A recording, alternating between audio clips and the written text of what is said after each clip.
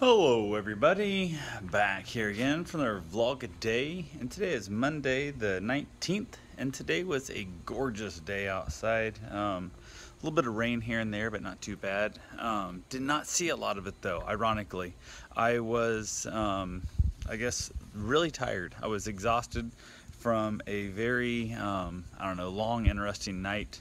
Karen woke me up um, off and on throughout the night, all night. And this morning, very, very early, technically, I don't know, yeah, it would have been actually an AM, had said it's time to go to the hospital. She had been sick and in horrendous pain virtually all day. Uh, it, it, kind of subsided for a while, so she thought she was going to be able to make it until she actually got to see the doctor on Wednesday and thought no big deal. And it kind of came and went on Sunday and it did not stay away. It was just absolutely horrendous. So we basically took her to the hospital, took her to the ER, uh, spent the rest of the night in the ER.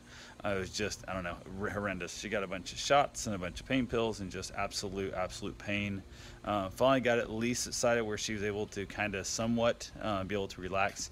She'd fallen asleep in the ER, which was a good thing. Um, went ahead, they basically released her and said that you got to see your doctor because the doctor's going to be the one that fixes you. We can't fix you. So we don't know what the hell's actually been wrong with her yet. Uh, we're still in that whole process. We finally got home, I don't know, a little bit after sunup. Um, but it was one of those deals that it is what it is. So we got home, I was just, I was exhausted. She was literally spending the day um, sleeping most of the day. It's pretty much all she did all day is just sleep.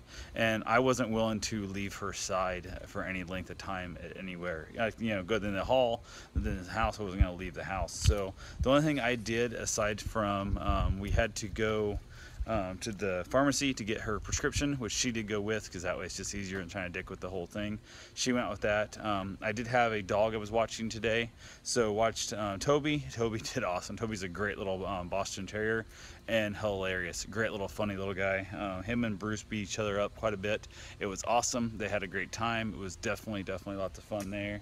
And it was just a lot of trying to keep Toby away from Karen because he's a bit of a climber and he's got really sharp claws. So she was not feeling the best yet. So she was definitely just, you know, beaten. She was absolutely just uh, tired as all get out. So she went ahead and um, just relaxed and rested. And I got her to eat some food and different things, but nothing real major. We ended up having some pulled pork, I believe it was, so, um, dinner she laid down um, I don't know, like two something and at something about maybe it's three o'clock where it was and said something about taking a nap and I said you want me to get you up any particular time? She goes no. I said if you're still sleeping at five o'clock she goes I won't be sleeping at five o'clock but don't wake me up. And I said okay. I woke her up about 6:30 to um, have her eat some dinner and she was up for I don't know maybe an hour and a half and she was back to bed. So I did go get my run in um, had to go out and get that done. Uh, other than that I pretty much didn't do a damn thing except take her to the pharmacy take her to the emergency room all that kind of crazy stuff and it was just one of those days that nothing, you know, was more important than sticking around and taking care of her. So that's pretty much all I did all day today. It was absolutely ridiculous. So, but anyway, pretty much, um, yeah, it's one of those days, things like that happen, and you just have to accept it and move on with your life and realize I had some other things planned, but not a big deal at all.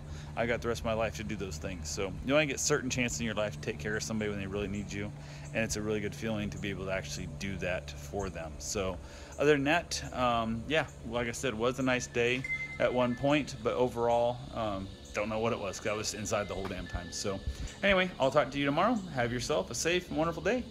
Thanks for watching.